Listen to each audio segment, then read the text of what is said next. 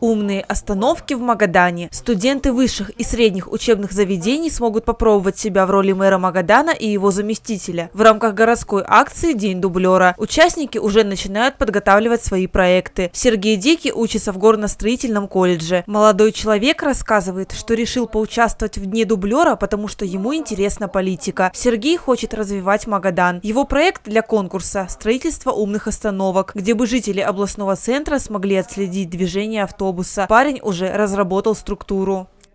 На этой остановке у меня есть уже разработки эм, в, в, комп, э, в, этом, в программе Компас, где заключается то, что как эта структура будет выглядеть. Там будет сос-кнопка, если на всякий 112, будет маршрут автобус как ходит, э, и само, само время, как будет двигаться автобус. Будет одеваться трекеры специальные на автомобиле и спокойно будет выкладываться маршрут автоматически через Wi-Fi роутер и все.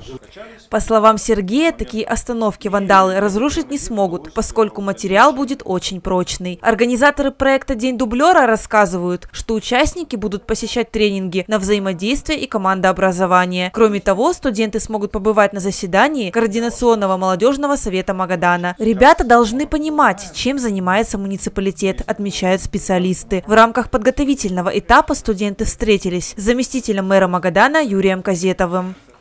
Вам, конечно, а, вы наберетесь большого опыта. Вы начнете немножко разбираться уже, кто за что отвечает и по каким вопросам, куда в мэрии или в области или еще в Думе обращаться. Это самое главное сегодня, чего не хватает даже в обычной жизни, простому человеку. Потому что приходит и начинает вот в одно здание ходить, во второе, и пока там двое-трое неделю находится, выясняет, кто может решить этот вопрос, уходит время.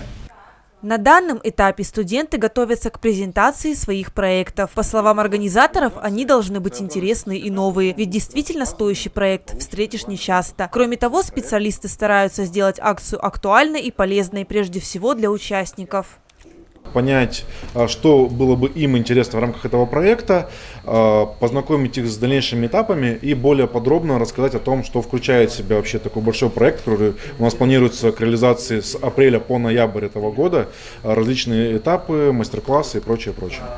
Из всех участников отберут около 10 человек, которые пройдут в следующие этапы. Для студентов проведут экскурсию по мэрии Магадана, а также по отраслевым органам. В ноябре подведут итоги конкурса. Тогда же сделают пресс-конференцию участников проекта.